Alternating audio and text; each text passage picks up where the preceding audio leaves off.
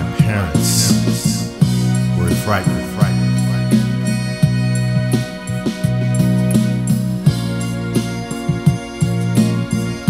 They could, they could, and would, and would understand.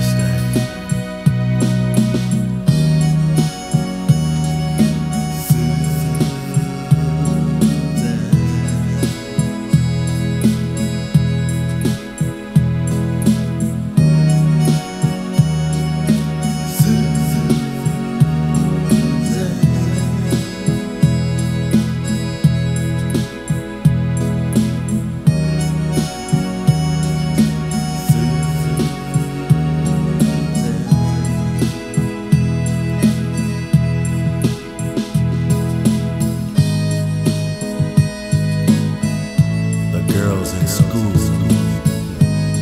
paid me no attention.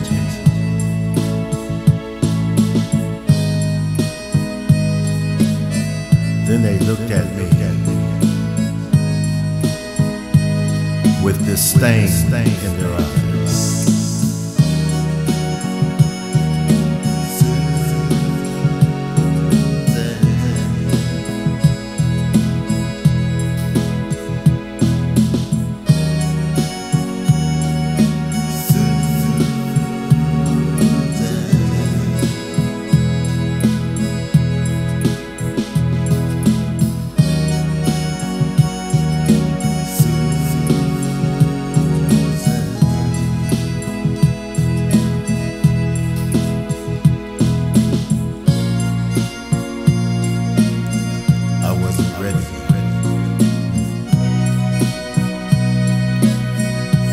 All talk and gossip.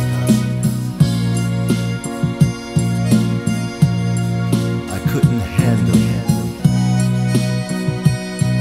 all the long, hateful stares.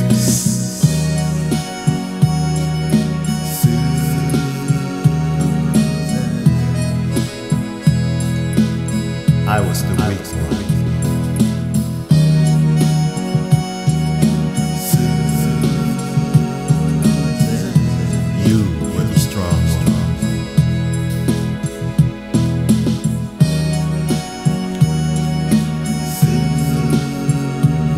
Deserve someone better than me.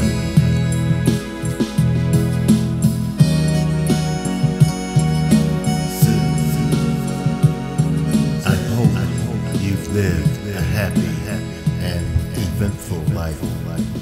Susan. Susan.